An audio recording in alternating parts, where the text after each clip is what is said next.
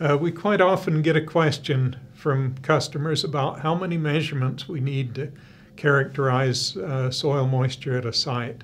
And so that's what I want to talk about today. A number of years ago, uh, I knew a man who was wanting to make soil, uh, provide a business of uh, making soil moisture measurements for the purpose of irrigation scheduling for farmers. And uh, he came to me wondering uh, how many samples he should take. He figured that he wanted some fairly simple way of determining soil moisture, so he thought he would go into the field and he would uh, collect samples, uh, soil samples from the field. He would take them back to the laboratory. He would uh, dry them and weigh them and dry them and determine water content. And so he, he wondered how many samples would be required to, to determine the water content to provide this information for a farmer. Now, that's not so different from the kinds of information that uh, are often required either for practical applications like irrigation scheduling or uh, for uh, research purposes. Uh, we can see the broader applications of that, uh, the question of uh, what's the relationship between the measurements that we take and the underlying uh, value of water content in the field. And I think you can see that this same thing would apply whether we were taking samples and bringing them back to the laboratory or if we were uh, putting in soil moisture sensors and wanting to monitor soil moisture in the field. So the first uh, thing we need to talk about, soil moisture, is a random variable. We need some vocabulary for talking about that.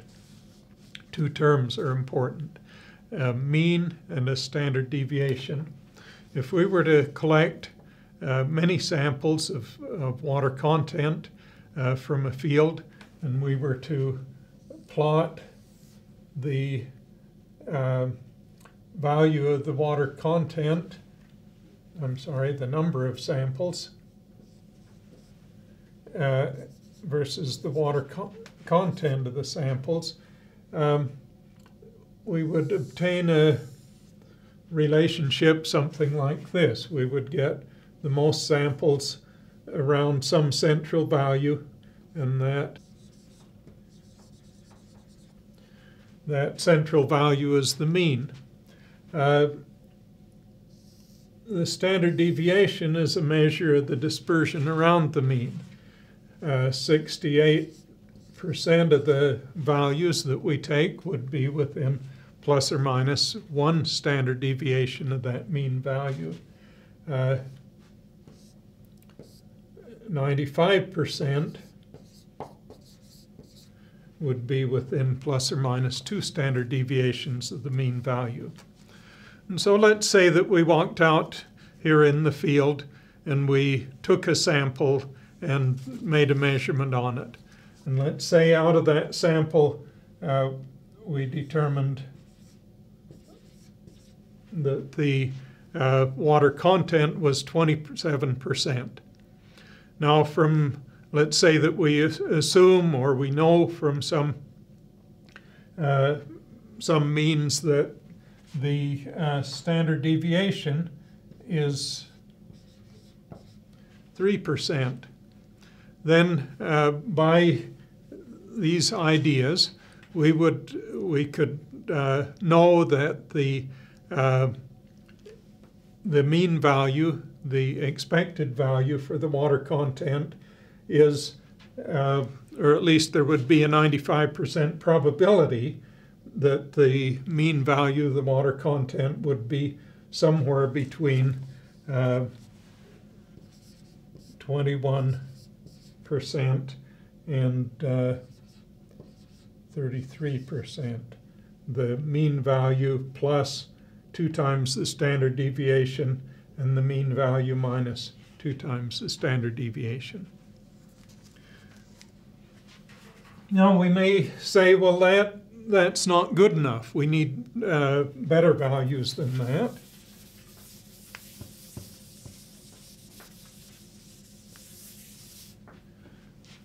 And so, uh, what do we do? Well, we need to take more samples. And so we take a number of samples and average them. And so we can know how many samples, or we can know what the result of averaging several samples is with a, a simple relationship. Uh, the uncertainty in the, in the average value that we get, the standard deviation of the mean, is the standard deviation divided by the square root of the number of samples. And so let's say that we went out in the field and we took uh, 100 samples. Then uh, the standard deviation of the mean would be uh, our standard deviation that we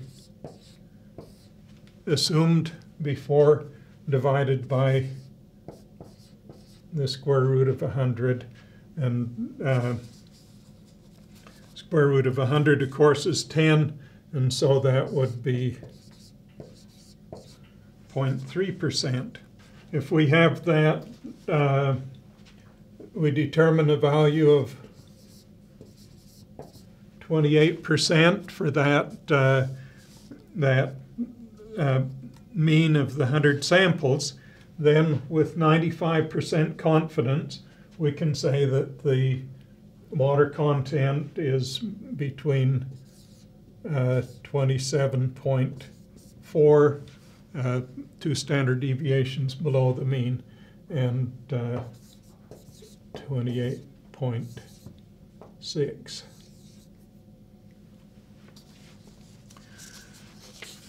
So uh, we're getting closer then to our quest of determining the number of samples that we need to take.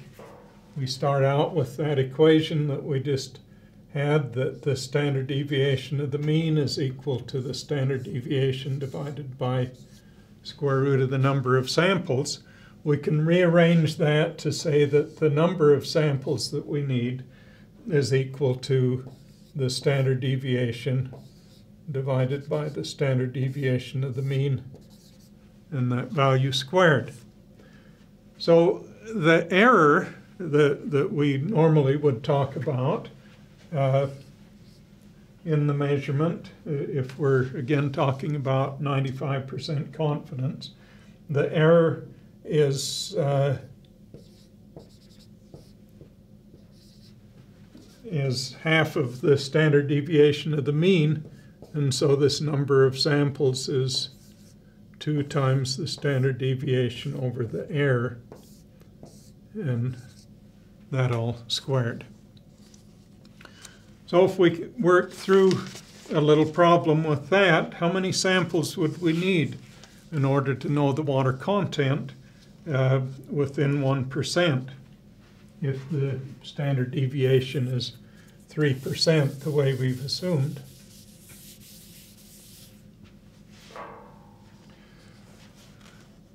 So uh, the standard deviation is 3%. Uh, the error value that we want to get to is 1%. We want to take enough samples so that we have 95% confidence that we're within 1%. And so the number of samples is uh, 2 times 3% divided by the error, 1%, and that's all squared. And that comes out to be uh, 36 samples. Well, when we see that number, uh, typically we get pretty discouraged. That's more samples than we want to take, more samples probably than we can afford to take. Uh, to see uh, how that relates to reality, we did a little experiment here. We have a soccer field out behind the Decagon building. And so we went out and, and uh, took one of our sensors, the GS3, and hooked it up to our little handheld device. And we set up a transect 20 meters long. We sat, or three transects 20 meters long, parallel with each other and spaced a meter apart. We went along and took samples every meter along these, this transect.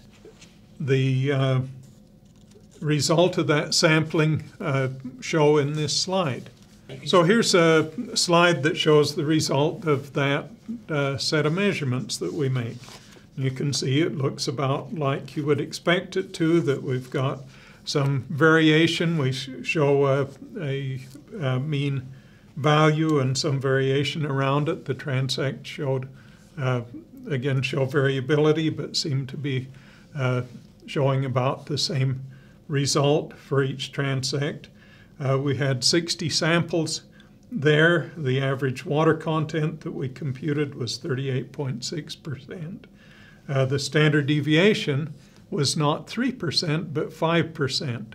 So the situation is even worse than, uh, than we imagined with these calculations that we just did here. With a standard deviation of 5%, if we want to know the water content within 1%, we would need 100 samples to do that. And so even with our 60 samples here, our standard deviation of the mean is 0.65%, and so our field water content is somewhere between 37.3 and 39.9. Well, uh, as I say, that usually is discouraging when we get to that point and see how many samples are needed to, to make a set of measurements. But thing is that quite often the thing that we need to know is not uh, an accurate value for the average water content. Quite often what we want to know is how much the water content is changing. And that we can know in other ways uh, accurately enough so that, um, so that we don't need that many samples. Uh, that person that I started out talking about who was wanting to schedule irrigation would need to know water content uh, with an accuracy of 1%, well, at least with a precision of 1% or better. But uh, that could be achieved much more readily by installing a sensor in situ, where you're not dealing with the spatial variability in the soil and monitoring that. And so in this slide I've shown uh, some data that we took in the field with one of our um, 5TE sensors hooked up to a data logger. Uh, the uh, water content is sampled every minute. It's averaged over hour intervals, and the plot that you see here is a plot of those uh, water contents measured each hour. And you can see a period of time where the soil is drying because the plants are using water You can see uh, an increase in water content that results from uh, adding water through irrigation or rain, and then again uh, the water content decreasing as the, the water is used. And you see very little variation in, in those data. Now, if, if this guy that wanted to provide the ir- irrigation scheduling service had wanted to do this same thing by sampling, uh, the next slide shows the result that he would have gotten if he had gone out every hour and taken one soil sample and uh, and plotted the result. Uh, this is what he would have gotten, the, the blue lines that you see. And you can see that uh, it's about what you would expect, that the highest values are about 10% higher than the, than the mean value. The lowest values are about 10% lower and the standard deviation we said is about five, so that's about what would would expect. But from these kinds of data, there's no possibility that you could ever tell when you should irrigate. Uh, in the next slide, I show the result that you would have gotten if you went out and took 10 samples every hour. And here you can see the pattern to some extent of when the drying and wetting occur, but there's still an awful lot of variation in it. The next slide shows uh, the result of taking 100 samples every hour. A ridiculous thought, but again, uh, there's still some variation in it. It still doesn't look anywhere near as good as the in situ sample. Uh, when we're just looking for the uh, changes in water content, the water storage, the uh, water use, uh, in situ measurements make a lot more sense than soil moisture sampling. So let me conclude just by uh, a few points that I hope to have made in this. First of all, that the water content, soil water content, varies from place to place. That's inherent in nature. It's something that we we expect anytime we go out to measure soil moisture. We usually need to take an average of moisture at several locations in order to know what the water content of a field is or a, a, an experimental site. We usually can't afford to take enough measurements to really know what it is, to have it within the accuracy that we would like to have it. Uh, and so uh, we can go through this exercise that I've gone through here. We can determine the number that we need, but usually our budget won't allow us to put in that many, and so we end up compromising to some extent. But the important thing is that for many purposes, we don't need to, to use uh, large numbers of samples. We don't need an accurate value of the water content.